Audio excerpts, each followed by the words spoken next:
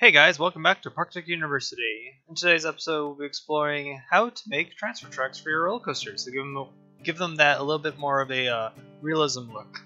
So, I'm going to show you how I built this particular one in front. There's a couple different designs in the world of how to make transfer tracks, but I'm going to make a very simple one that's more, most easiest one to replicate in Parkitect. So, a slide track type of thing. And I'm going to show you a little animation of how a transfer track would go. And so as the train appears and pulls up into the transfer track bay, it will slide the train over to the bottom track, into the maintenance track, and onto it, then onto its um, maintenance bay. So that's usually how a transfer track would work. It can go vice versa. Uh, most transfer tracks can be on well, it could be in the front of the station or the back of the station, depending on how you design your coasters. Mostly it's in the back of the coaster. So let's go on to showing you some of the pieces I used for this little transfer track. And yeah, we'll just go over there now. So here are the pieces of what I most likely used for the transfer track. We're going to also work on some custom catwalks because everything in this build or tutorial is going to be all um, vanilla, so construction anarchy is off and no scenery mods. So this can be 100% done in campaign mode if you really, really wanted to make your coasters more realistic. And first things first is to set up the tracks themselves. Now, it will look better with a full completed coaster, but in this case, I'm just going to show you what it would look like so we're going to keep everything in the gray so that it makes it very easy on the eyes. So we're going to first do a steel coaster, height of 4, depending on... It's all up to you how high the transfer track is, but I'm going to make it 4. And then I usually do, let's say this is the end of the coaster, so there's a brake run, and then there's a block brake, another block brake, and then it ends up into a, let's say, here's the station. This is where the station is going to sit. So that's just the idea. I'm going to delete the back one because I don't need it. But just imagining that this is our train coming in from brake into the station and then here it is so far. We're going to paint this red so that actually let's do this. We're going to paint it red so we can tell the difference between the two different tracks. So here's the red track. This is uh, main track, so we're just going straight in. And then let's go build the second track. Now usually I do the same coaster. This will cost a lot of money if you're doing this in campaign mode, so keep that in mind. So we'll make it the same height. and We're to make it in the same direction, so let's just imagine that. Yeah, we'll just put it in the same spot. We're to do block brakes like this. Up to there and stop. Delete the back. And just imagine this piece of track extends out this way toward a maintenance shed, or it turns off to a maintenance shed, who knows. So we're going to make this blue, so we can tell the difference. Oh, I must I did something wrong also, I just realized, but let me first make it blue. So the transfer track is not dead, I made a mistake.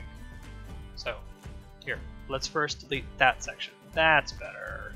So, I need to leave one space open, because technically speaking, this red track, like you saw in the diagram, the animation, needs to slide downwards. So we're going to make ourselves a little bit of a grid system with borders, and this is kind of how it would show up, like this. So here's our little grid system. Um, the supports, the best way to kill them would be to do a slew of pathways. It's kind of easiest way to do it. So I got rid of all the supports to kind of help out with that. It actually helps out a lot in this aspect. So let's move that piece right there. There we go. And let's do some pillars to help it support it. All the way across. And then we're going to do cylinder to simulate like a concrete ballast or a support for the supports. I do a big border like this at 3.75 to give that crossbeam connection. That actually helps a lot. A half pillar to give it that the what's it called the running boards or these running rails to stop on so they don't do too much. So kind of now you can imagine that this piece moves over to the right. I think that's just the best way you can imagine it. Uh, you have to kind of use your imagination a little bit to kind of imagine what the pieces would do or the track would slide over. It's good to watch a whole bunch of like um, uh, transfer track videos on YouTube. I did. I also watched a lot of transfer tracks when I went to like Disneyland. So like like, like um, Big Thunder Mountain has an interesting transfer track. It's like a turntable. Um, some are slides, but usually the slide ones are usually for maintenance bays because they're kind of out of sight. Um, but yeah, this is the best thing you could do with it, and I think this looks really cool. This is a cool slide over. So we just now finished the whole gimbal system that holds the rail in place. So just imagine if the train was actually really small, two by two, two train car rolls up, slides over. Um, you also want to keep in mind that you want to make your transfer tracks as big as the train that you're trying to make. So, like for example, the train, the coaster before was I think six cars. So I made sure that it was like seven tiles long, so the transfer track was pretty large that had to move over. So let's first do let's do the catwalk first.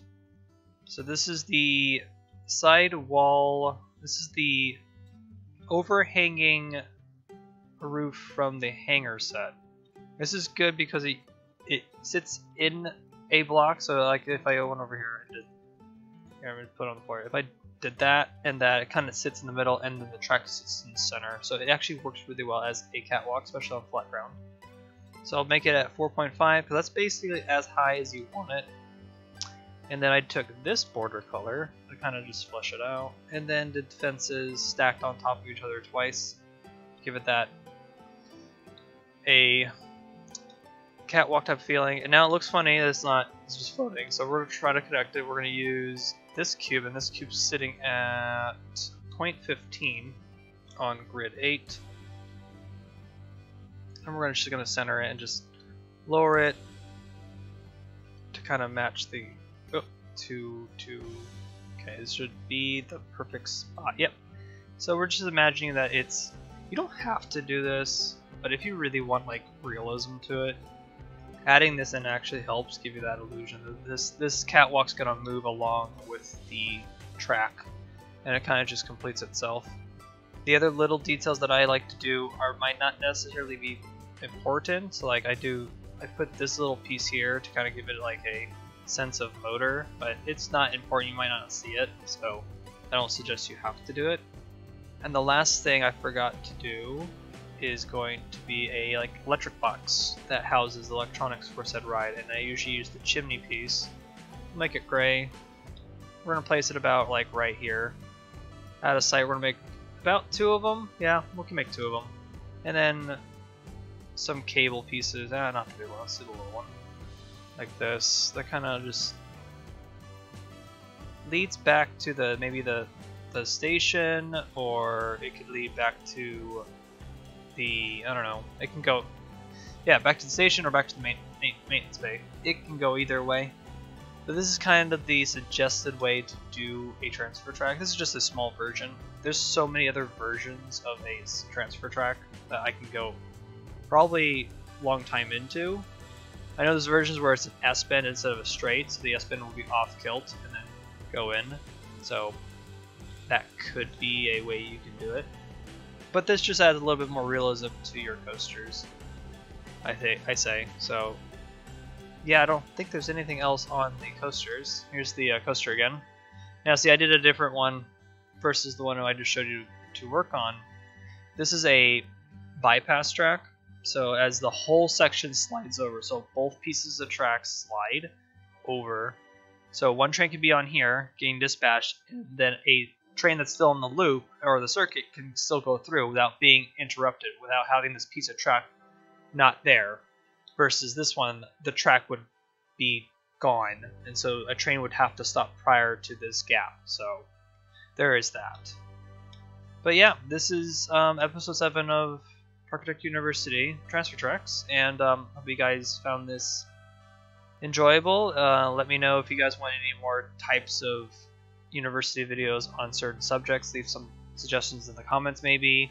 And yeah, I think this was a fun one to kind of put together because yeah, trying to think of how their how they work and how they kind of work with your coasters is a fascinating way to learn about coasters. Actually, doing it yourself, and so this adds a little bit more realism. So yeah, hope you guys enjoy it this video, and I will catch you guys in the next episode.